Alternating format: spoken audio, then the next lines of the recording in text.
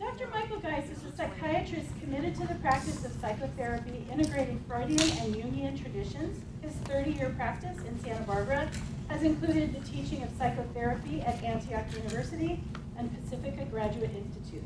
His preeminent focus is on how a relational reality between therapist and patient is the source of healing.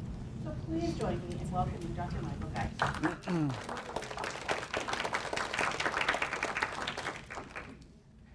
Good, and tell me if I don't speak loud enough, because I like to walk around and generally not hold microphones. But if you can't hear me, then that won't be, yes, that won't be good.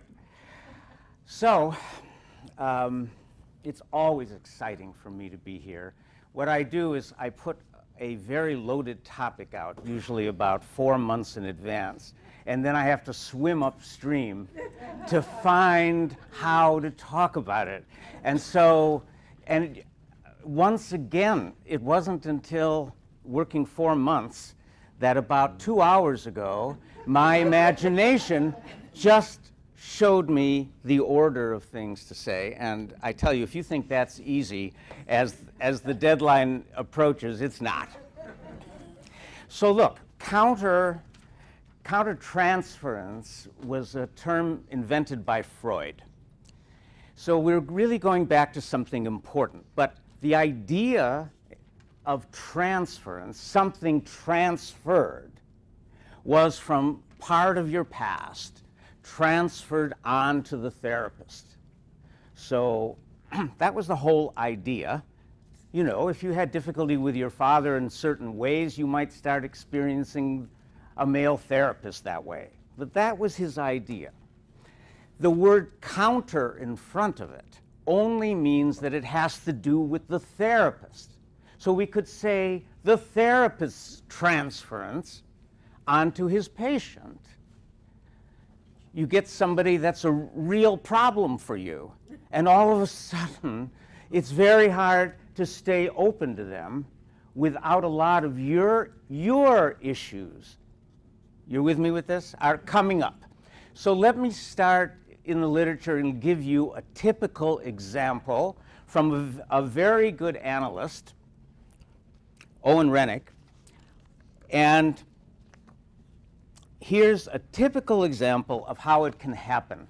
Now, what's important here is that for the first 50 years last century, the whole idea behind countertransference was that it's in the way you won't be able to really hear and understand your patient. It's something that when you discover it, you need to go back into your own therapy and deal with it. So for first, the first 50 years, it's about, it's a real problem and do something about it. And here's a typical example of a very good analyst who, while he's sitting with his patient is aware of it, which is good, and beginning to, to work with it to get himself out of the way. So, this is a typical example, and I'm going to be talking for the rest of this hour about, about the usefulness of it, not what I'm about to share with you when it's in the way. So, here's Dr. Renik an everyday clinical sequence. A patient is describing her joyless marriage. As I listen, I am aware of a sense of immobility. I'm sitting absolutely motionless in my chair, and my limbs feel heavy. Possible interventions come to mind, but I decide against them, one after the other. I have the feeling each time that I might say, what I might say, would not lead to anything useful. I note that the remarks I keep thinking of making all aim at a rather active investigation of my patient's situation, questions about her attitudes toward her husband and the future of their relationship, how she regards her options. But I realize I have an urge to rescue her from the marriage and end her distress. I realize I have an urge to rescue her.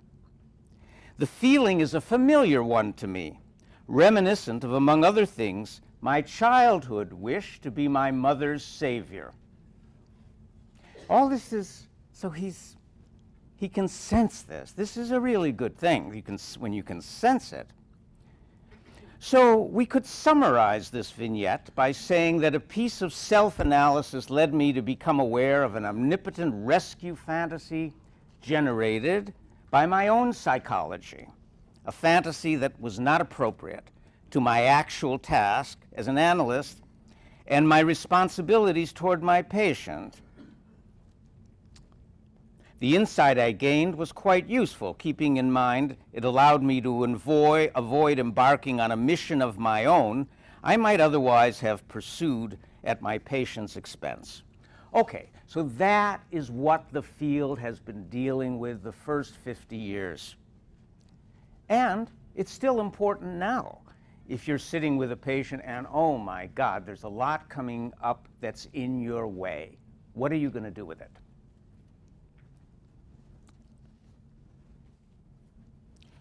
So here is a favorite um, New York therapist of mine. Her name is Darlene Ehrenberg. And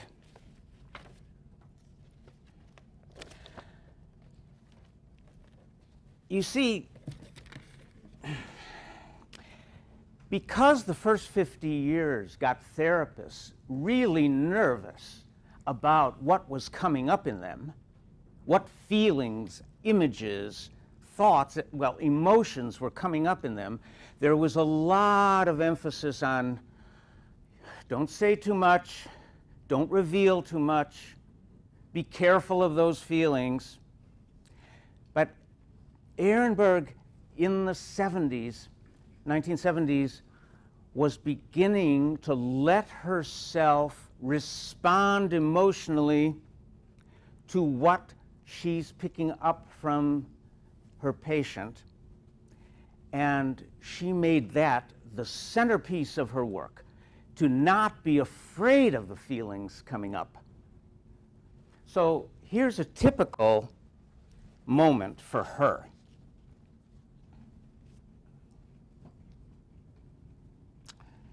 Ronald, a young man in his 20s, was referred by a colleague after two years of treatment which seemed to have reached a stalemate. Despite acute somatic reactions to stress, including a severe colitis with subsequent hospitalizations and a history of obesity in the past, he was, Ronald was not aware of great emotional distress except about his physical condition.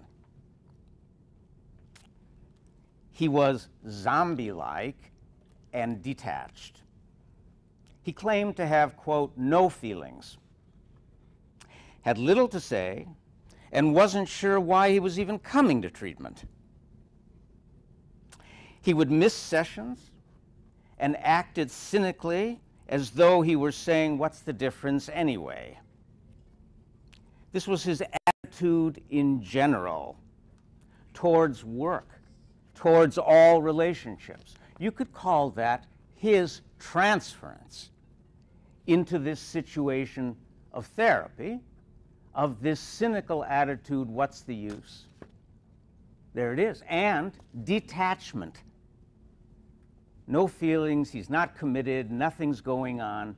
There's the transference. When, when we know it's a transference in this writing because he says it was his attitude in general towards work, towards all relationships. So naturally, there it is coming to Ehrenberg. Now, look what she starts to do. Sessions were characterized by a kind of vapidity. Gosh, I haven't heard that word forever. it, I don't think it's very good. when, when he did come, I tried to convey to Ronald his impact on me. Now, this one sentence is like Ehrenberg's whole thesis that therapy for her, the medium of therapy is that relationship, is that connection. That's where it's going to happen or not. So, she says, I try to convey to him his impact on me. I insisted that although he seemed to be reluctant to be concerned as to whether our sessions were useful in any way, I was not. She's concerned, though he wasn't concerned. He seemed to be reluctant to be concerned as to whether our sessions were useful in any way. I was not. I also said that I did not like to feel useless, which is what I did feel in these vacuous sessions. And I wondered if he were aware of his impact on me. So, she is aware of the transference from him onto her, this detachment, and says, Are you aware of what's happening here? I've got to tell you about me. Already, her using her emotions that way is part of the revolution in the field about what the therapist is supposed to do. This is what, and this is what's really important here. So he, when she said, "Are you aware of your impact on me?" He seemed quite surprised and became curious. By painstakingly following the minutest uh, vicissitudes of his reactions with me and mine to him, and mine to him, he seemed to become more responsive. He noticed that his stuporous detachment was, was itself a reaction to the situation, which instead of making him more invisible, had impact on me. He began to notice, because she was telling him, had impact on her. This was a revelation as far as he was concerned, this impact and affected him greatly. Gradually, he began to get in touch with deep feelings of vulnerability, pain, sadness, anger. Uh, it evoked many associations to childhood, which had been extremely traumatic, including memories of scenes of his father, a chronic alcoholic, physically threatening his mother with a knife, and the terror the patient had experienced. He was able to experience with me the emotions he had not experienced then as he told all this to me. But listen to this again. At times I commented how painful some of the experiences he reported sounded when I felt he was glossing over this, when he was minimizing this horror. I told him that. He reported that he was touched by the fact that I did not accept his own efforts to minimize the extent of his pain. Do you see how this is going back and forth? This is what is so crucial for her. And what's coming up, you see, she's not letting him just get away with his transference. This detached vapidity she is not letting him get away with its impact on her, nor is she letting herself get away with it. Now, that's really important. Remember, I told you the first 50 years, all these therapists are very nervous about what's coming up in them. She is using that to not move away from herself. Think about it later. Talk to her own therapist about it. Not at all.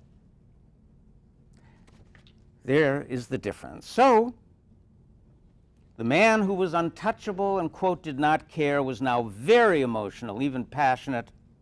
He was able to describe a decision never to be vulnerable again, made out of anger and despair as a child, and a feeling that he would rather be dead. In the context of this growing sense of hope and possibility based on his actual experience of our relationship, he described with great emotion a desire to someday have a family of his own, which was very different for this man. He was always reluctant, she said, about having children because he might expose them to what he had been exposed to. So here's how she summarizes this. I believe, this is in, this, this is in the 70s. I believe, in New York, I believe the fact that I engaged him the way I did was as responsive as I. Oh, the way I did, and was as responsive as I had been. The fact that I did that, engaged him that way, responsive as I had been, was critical in this treatment. Some therapists fear that active engagement of the patient might foster some kind of pathological dependency. I think this example illustrates that often the therapist's responsiveness can facilitate a turning point in the work. Whatever the therapist's preference for technique, whatever technique, unless he or she can use his or her own aliveness to spark some life into the interaction, it sometimes will remain dead. The therapist must engage in some affective, emotional way. Okay, so this is classic Ehrenberg. And I'll, I think I'll skip the second case of hers, which is definitely on this same issue. Because the, um, what she's trying to get past in the field back in the um, 1950s. An analyst in England, Margaret Little, wrote this about what was going on here. She said, To my mind, it is the question of a paranoid or phobic attitude toward the therapist's own feelings. Paranoid or phobic, fearful attitude to the therapist's own feelings, which constitutes the greatest danger and difficulty in countertransference. The greatest difficulty. The very real fear of being flooded with feeling of any kind rage, anxiety, love in relation to one's patient and of being passive to it and at its mercy leads to an unconscious avoidance or denial by the therapist. Honest recognition, she goes on to say, of such feeling is essential to the therapeutic process. And the patient is naturally sensitive to any insincerity in his therapist and will inevitably respond to it with hostility. He will identify with the therapist in it as a means of denying his own feelings and will exploit it generally in every way possible to the detriment of his therapy. Okay, so 50 years after Freud, this question of having the courage to know when and how to use your own feelings. The, the first example was he did not share any of that. He just saw, oh, brother, I'm on a mission to rescue her. Let me take a breath here. And so interesting where it eventually turned out. He, he, he noticed, or he and his patient got to her wanting him to rescue her rather than grapple with what she was going to do herself in the marriage. So it was good he could pause at that. So these, this dilemma of what to share, when to share, these are crucial issues in the field. Another New York analyst says, only by exposing himself or herself with the patient to the pain and dread and misery beyond those transferences. Let me give it to you again. Exposing yourself to the pain, dread, and misery beyond those transferences. Remember the transference of this nothing matters, why am I here, this vapidity, this beyond that. What is beyond that? But sometimes that's the first thing you're going to get. What attitude is coming toward me? Like, why am I here? It's hopeless anyway. That beginning transference of old attitudes that may be going on everywhere in that person's life. So, Wolstein says, the pain, the dread, and misery beyond those transferences. And that's why Ehrenberg is pointing them out. Do you know your imp- the impact you're having on me? Are you aware of what's happening here? Okay.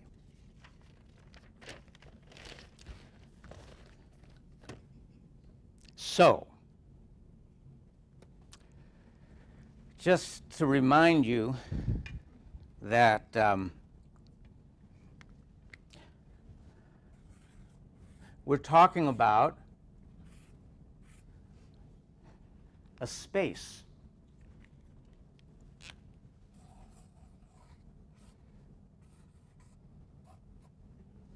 So let's say that here's the therapist, and here's, say, a woman patient, doesn't matter. And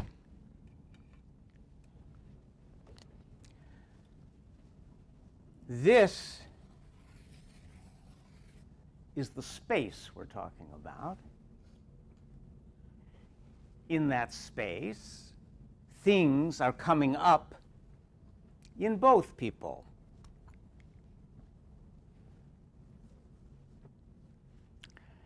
I like to call that space, the Jewish philosopher Martin Buber called it the between. The psychoanalysts are calling it intersubjective reality, intersubjective between two subjects. I like to call it a relational reality, a relational unconscious, a relational psyche, and psyche means soul. So, a relational soul in this space? What is the implication of the soul not being in each person, but something that is alive in that space that all of a sudden Ehrenberg is feeling. Something is trying to come into this space. So, what? Let me give you an example, a brief example from a recent situation I was in.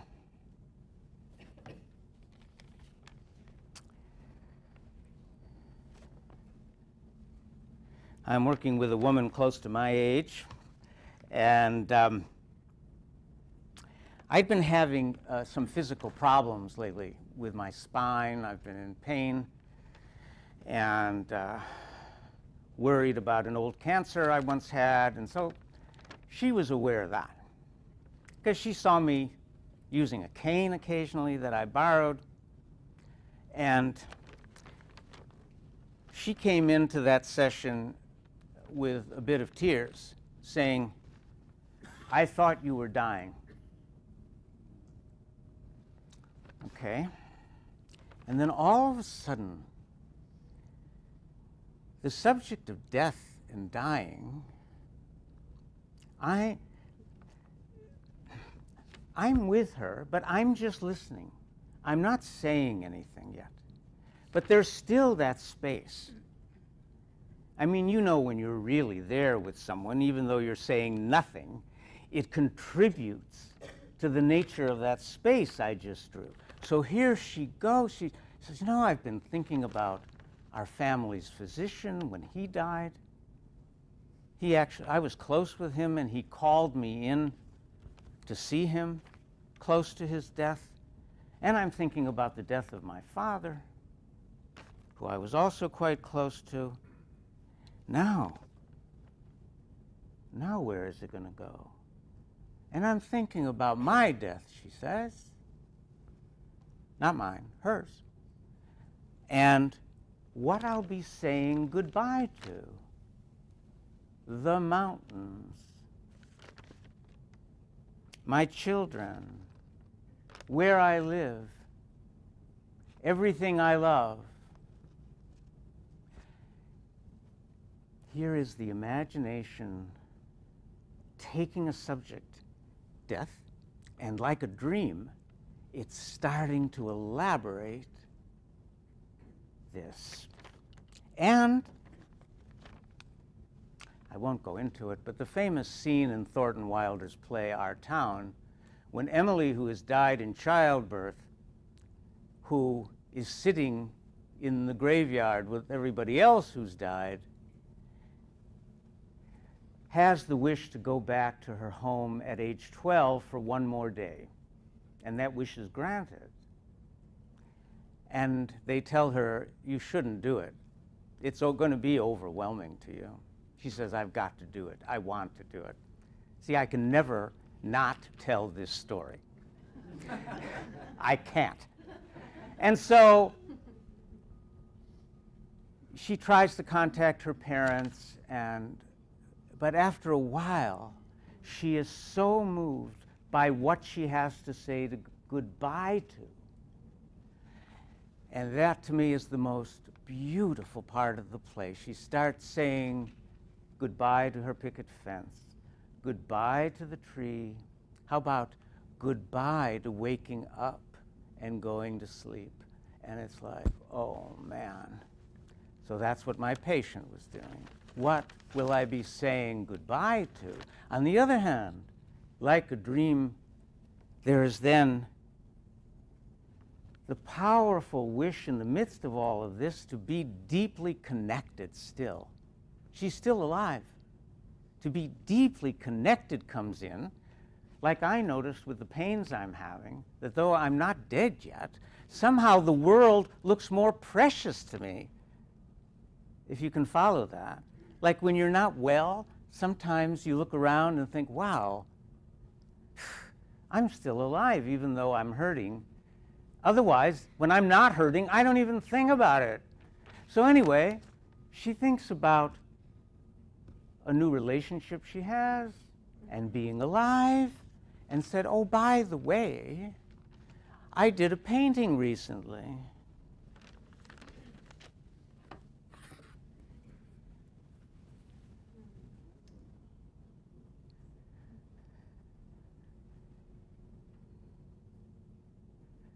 So, the life spirit that was generated in talking about death,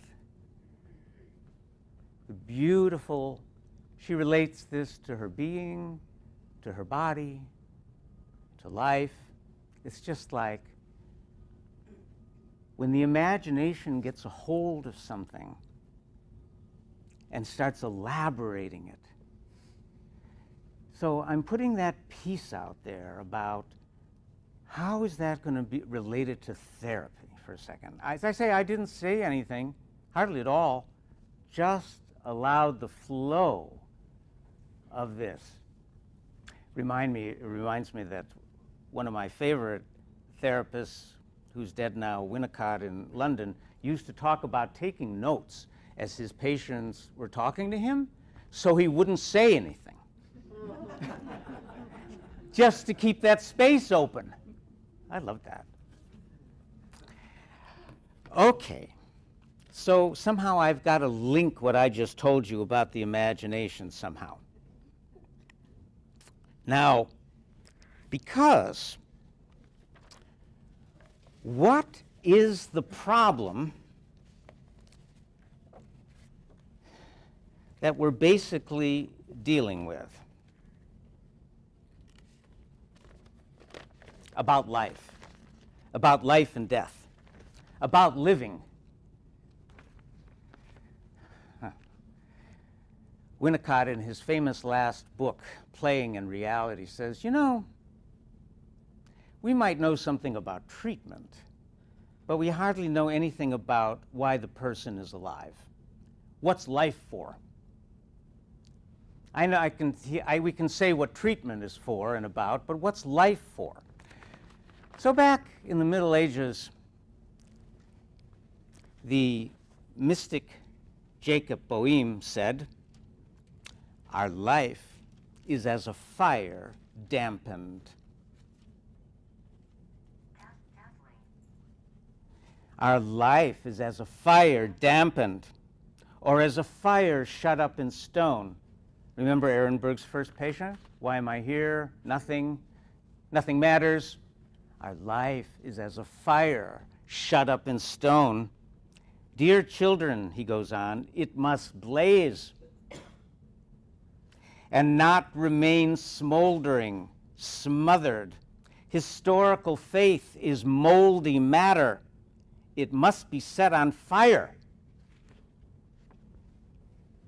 Historical faith is moldy matter. It must be set on fire. Okay. The story I just told you was the fire. You saw the painting. That's part of the fire.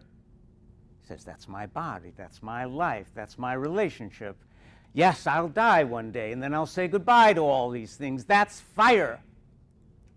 That's not just her persona talking to me. How do we further that? That's what Ehrenberg is about. She says, if I confront the transference, maybe we'll get deeper. Okay.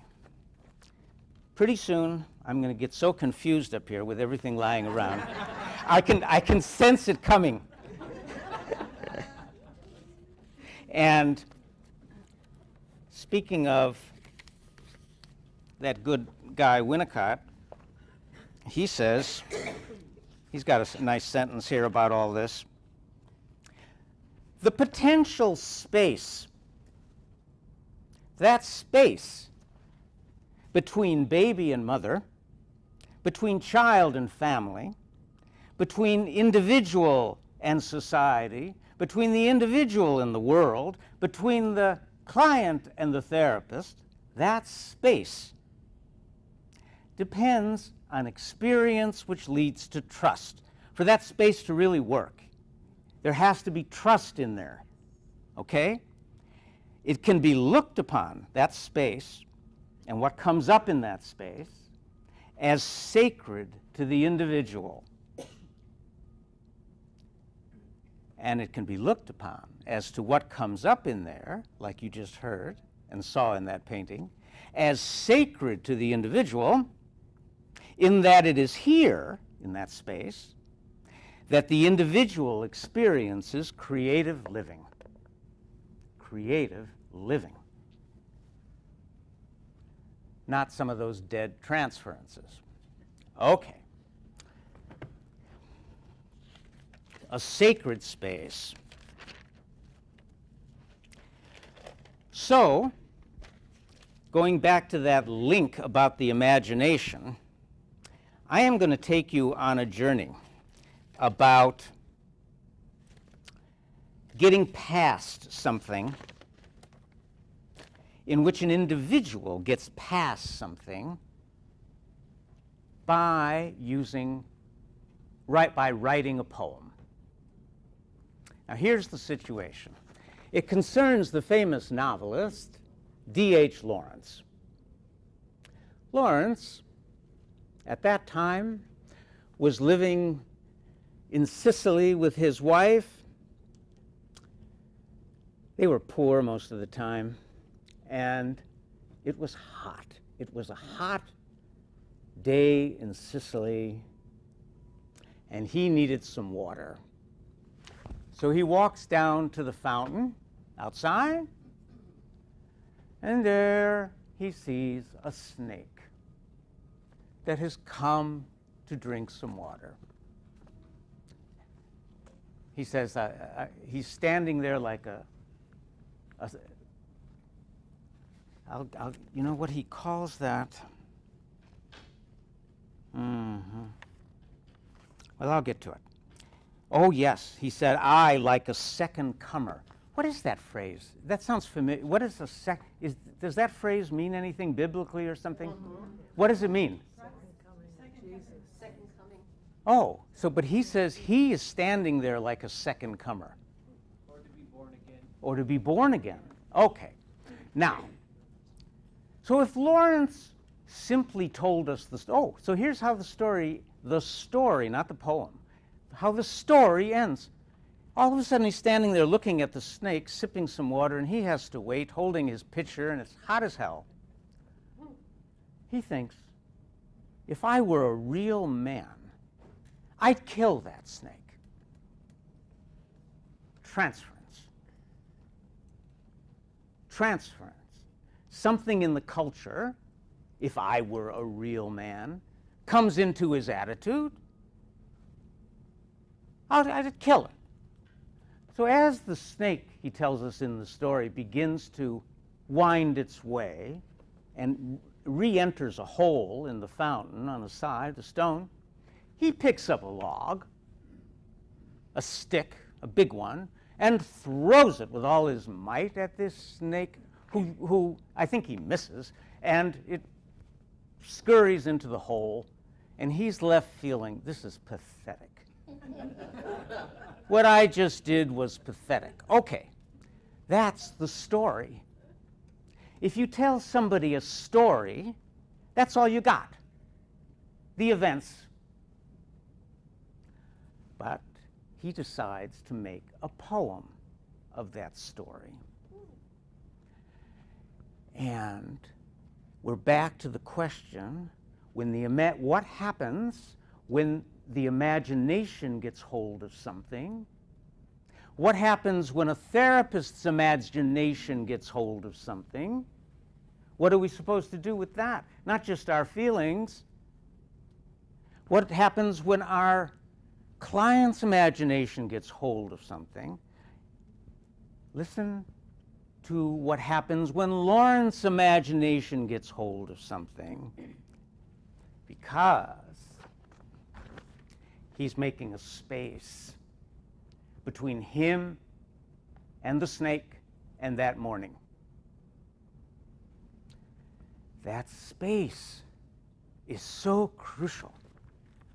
The poem flows into the space. So here it is. A snake came to my water trough on a hot, hot day, and I in pajamas for the heat to drink there. In the deep, strange, scented shade of the, drake, of the great dark carob tree, I came down the steps with my pitcher and must wait. Must stand and wait, for there he was at the trough before me. He reached down from a fissure in the earth wall in the gloom and trailed his yellow brown slackness soft bellied down over the edge of the stone trough and rested his throat upon the stone bottom and where the water had dripped. From the tap in a small clearness, he sipped with his straight mouth, softly drank through his straight gums into his slack, long body, silently. Someone was before me at my water trough, and I, like a second comer, waiting. He lifted his head from his drinking as cattle do, and looked at me vaguely as drinking cattle do, and flickered his two forked tongue from his lips and mused a moment, and stooped and drank a little more. Being earth brown, earth golden from the burning bowels of the earth, on the day of Sicilian July with Etna smoking. Already something's coming in here. The volcano, the earth, earth brown, something's beginning to come in here. The voice of my education said to me, he must be killed. For in Sicily, the black, black snakes are innocent, the gold are venomous. And voices in me said, if you were a man, you would take a stick and break him now, finish him off. But must I confess how I liked him? How glad I was he had come like a guest in quiet. This word guest has a long religious history. The guest who comes. How glad I was he had come like a guest in quiet to drink at my water trough and depart peaceful, pacified, and thankless into the burning bowels of the earth. Was it cowardice? He's coming back to it. Was it cowardice that I dared not kill him? Was it perversity that I longed to talk to him? Was it humility to feel so honored? I felt so honored. And yet, those voices, if you were not afraid, you would kill him. And truly, I was afraid. I was most afraid. But even so, honored still more. That he should seek my hospitality from out of the dark door of the secret earth. The dark door of the secret earth. What is that? It's not to answer that question. It's just to see what his imagination is trying to is trying to create like a dream does. All of a sudden we have the dark door of the secret earth. He drank enough and lifted his head dreamily as one who has drunken, and flickered his tongue like a forked night on the air, so black, seeming to lick his lips and looked around like a god, unseeing into the air, and slowly turned his head, and slowly, very slowly, as if thrice a dream, proceeded to draw his slow length curving round and climb again the broken bank of my wall face. And as he put his head into that dreadful hole, and as he slowly drew up, snake easing his shoulders and entered further, a sort of horror, a sort of protest against his withdrawing into that horrid black hole, deliberately going into the blackness and slowly drawing himself after, overcame me. Now his back was turned. I looked around, put down my pitcher, picked up a clumsy log, and threw it at the water trough with a clatter. I think it didn't hit him. But suddenly, that part of him that was left behind convulsed in undignified haste, writhed like lightning, and was gone into the black hole, the earth lipped fissure in the wall front, at which, this black hole, in the intense still noon, I stared with fascination. And immediately I regretted it. I thought, how paltry how vulgar. What a mean act. I despised myself and the voices of my accursed human education. And I thought of the albatross, you know, Coleridge's poem of he kills the albatross and then hell breaks loose on the board. And I thought of the albatross, and I wished he would come back, my snake, for he seemed to me again like a king, like a king in exile, uncrowned, in the underworld, now due to be crowned again. And here's how he ends it. And so, I love this ending. I missed my chance with one of the lords of life, and I have something to expiate a pettiness. So once again, we have a transference. The voices of his education kill him. He catches it, at least in the poem. He catches it. And when he can catch it, the voices of his education, he can go and let the imagination develop like a dream, a whole other event. About the underworld, about the darkness, about a Lord of life. He didn't just tell the story to somebody. The story doesn't have it. His imagination has it, what does that have to do with our imagination sitting there with patients?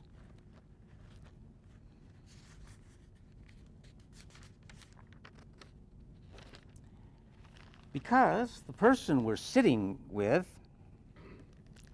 is not just who you're sitting with. He or she is more than he or she thinks he is. He's got a certain identity, but that's not the whole story. How do we get to who else that person is? Like, how do we get to who else that snake was? A lord of life, living in the underworld, a king about to be crowned. How do, does a, do we as therapists help someone get to who else they are? When the Spanish poet Jimenez asked himself that question, he wrote a very short poem.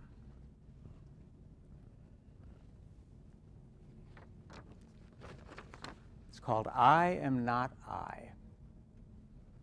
I am not I. Walking beside me, whom I do not see, whom at times I manage to visit, and whom at other times I forget, the one who remains silent when I talk, the one who forgives sweet when I hate,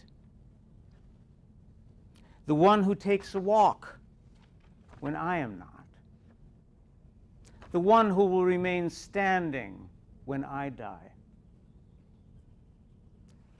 When his imagination gets hold of being more than he is, you don't have to take this literally. Just see what the imagination is doing. I am not I. I am this one walking beside me whom I do not see. Can I, as a therapist, know who is walking beside my patient who they don't see? It's crucial that I gradually begin to see who they don't see walking beside them. That's where the hope would be. Certainly, Ehrenberg began to get a clue that beneath that person's sullen, why am I here, was somebody else. Can we get that clue? Whom at other times I forget, the one who remains silent when I talk.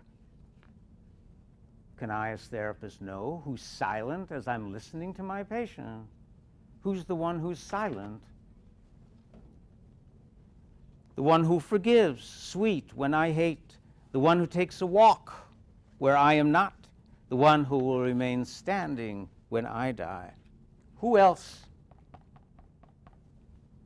could come into that space when I'm sitting with you? Who else am I talking to?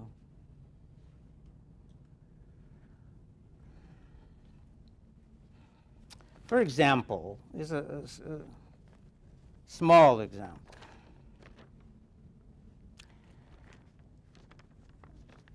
I'm working with a woman in her early 40s who's going through a, a divorce. And what was really important in what we did in the haven't seen her for a long time in the first few months is that we both got aware that when she begins to get anxious and overwhelmed she kind of goes up to her head and starts trying to figure things out what she should do and she really appreciated the fact when we saw that that she could just come back down and just kind of sit here with me and I had to be aware that I didn't go up there with her because she had lots of questions. How should I handle this divorce? And what about my daughter and all of this? And I, after a while, I thought, no, no. I don't want to do that. Let's not do that. And when we both could descend into just sitting here, and she got quiet, she said, Whoa, this is good. I think I know what I want to do. I can't figure that out from here. So we had done some of that. what I also knew from her history, and this kind of became like a symbol to me, she was a foster kid in several foster homes with her sister. And between about the ages of 8 and 12, in this one particular foster home, the foster family had a son, an older son of theirs, and the, and the two girls were, you know, maybe 11 and 9. And their son, a teenager, almost every night would come into their bedroom and hit both of them for some years. And they never knew exactly when he would come in. And somehow one of their teachers, aware of the bruises, got Child Protective Services involved, and the foster family said, if you say a word about this, you're out of here. You're out of here. And so they didn't. Okay, I knew that story. And somehow,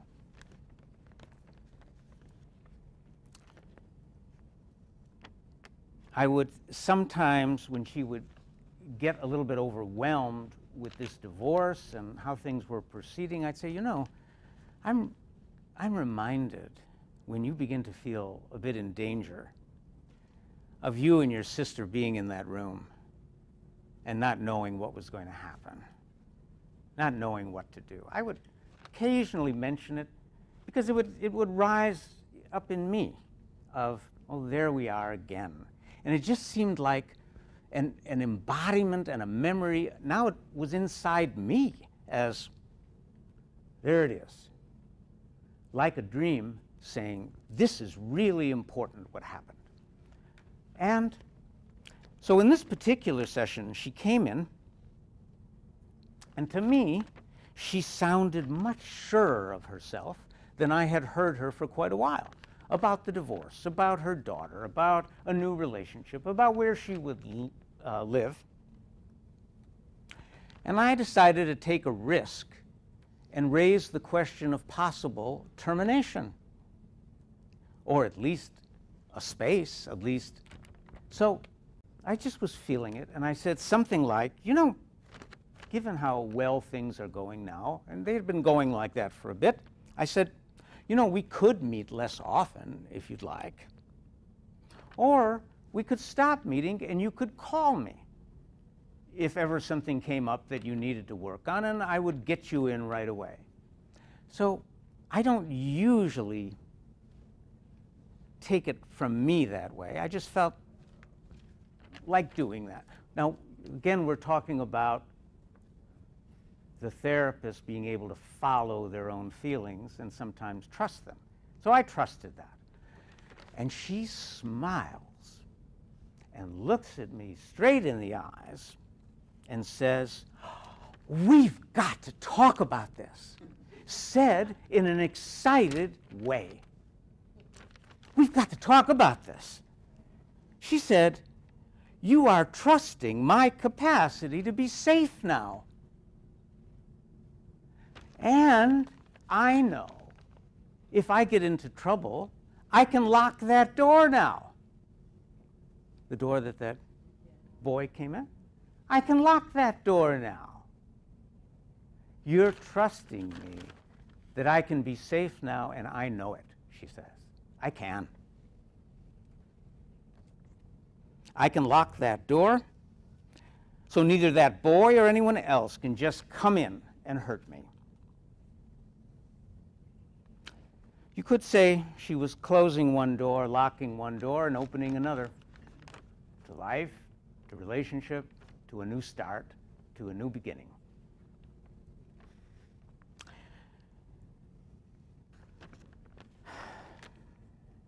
And the relationship as the place where it's happening.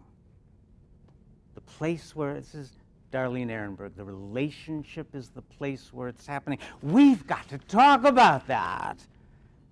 You are, you are trusting my capacity to be safe now. So I trusted bringing up the subject. Listen, if I had to summarize the most important point in this lecture, I would say, if you're a therapist, that everything you've learned about listening to your patient also applies to you.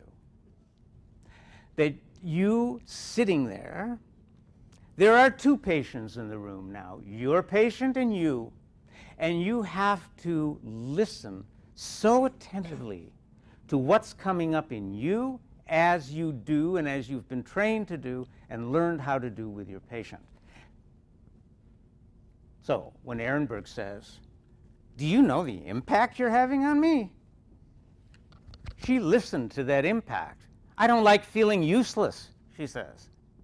You don't, you, seem, you don't seem to care about this therapy. I do, she says. I do. Listening, listening, listening. So, and you don't have to know in advance exactly, as you listen to yourself, what exactly this is and where it's going. Like when I wanted to bring up possible termination with my patient, I, I didn't know where that would go. I just thought I'd try it because it felt, it felt right in the moment. You don't have to know exactly so much in the early years of therapy and of psychoanalysis was you, you remain silent until you really know. You know it five times what's really happening, and you're quiet until the sixth time that it happens again, and then you can say something about it. So, this is not that. And but you have to be able to tolerate a certain not knowing. And here we have the famous English poet, John Keats, who defined negative capability. And he defined it in a letter to his two brothers in one sentence. When you are capable of being in uncertainties, mysteries, doubts, when you are capable of being in uncertainties, mysteries, doubts, without any irritable reaching after fact and reason. If you're capable of being in that place, that not knowing place. And to quote the 20th century philosopher Hannah Arendt, by the way, there's been an important biographical film out recently in our town, Vita Activa, about her and her writings about Eichmann and about the Second World War. And but she has one sentence I like. It's about this not knowing and about what, what is called the present as opposed to the past and to the future.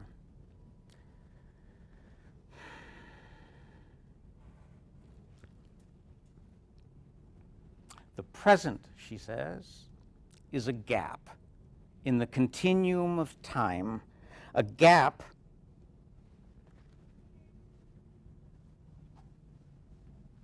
a gap that appears to the human mind as an abyss. A gap that appears to the human mind as an abyss when there is no longer a bridge of inherited concepts to traverse it. When you can find the present as an abyss, when you don't know exactly what's happening,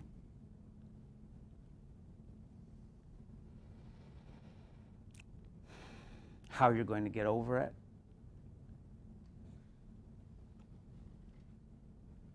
when Ehrenberg says, Do you know your impact on me? This therapy is important to me, it's not to you. Where are you coming from here? She doesn't know how she's going to get over it, through it. She hasn't seen that five times and is now saying it for the sixth time after she thought about it five times. No, it's now. Trusting that. So, the interesting thing about a talk like this is that the other part of the talk is what is happening in you. And that we've got oh at least 10 minutes. It's almost 1:15. If anybody has to leave before 125 or so, please do so. But I so am interested if anything touched you about what I was saying because I never really know the other side of what I'm saying. what is landing and, you know, what you're hearing. So, you know, I'd rather I'd rather hear that first. Like, did anything move you or touch you or that you find now you're really thinking about something as opposed to my having to say more back to a question. I mean, so if we could start with that, if anybody has something they could say to me, back to me about what came in for you. What did you wh- what do you think I was trying to do? What landed on you or in you? So I'd appreciate that. Here, here. Thank you. Amen. I don't know, I just get it. Thank you. Okay. And um, also, sometimes people really uh, find, find a hard time in talking in a group like that. So because this feedback is so important to me, I'd like to put my email up on the board in case somebody wants to just say, I was there and this is what I, this is what I thought. It's just Michael and then a dot. G E I S at Gmail. So if somebody would like to, dot com. So believe me, I will appreciate it. Hey, Noah.